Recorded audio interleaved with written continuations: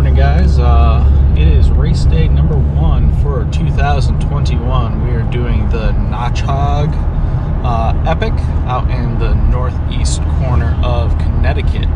Uh, 75 mile gravel race. Um, you know they're putting together a very uh, covid safe covid friendly event so uh, feel comfortable going out and doing this. Uh, small groups going off over three days.